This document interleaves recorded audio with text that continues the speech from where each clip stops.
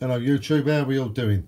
This one's for Zip really. He had a guitar on there he was doing up the other week. He didn't have a thing on the headstock. So this was um, this is hanging on the wall down my old girls. But look at the, the back.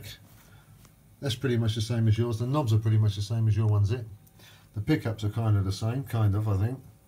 Anyway, I just thought to show it to you. The headstock, here comes the headstock. Columbus, but it's got the uh, look, the old familiar. This is from the 70s. So there it is anyway. Just thought you might like to see that one. Kind of like a, a Moody 335 looking thing. Good bridge though, roller bridge. Which for, you know, it's alright. This hangs up on the wall down the old girls. There's the back end of it. Number of old junk really, but made in Japan, I do believe. Think it is. What's it saying? Saying it? Anyway, there it is. Okay. The old Columbus 335 Moody guitar. Alright, talk to you all later guys.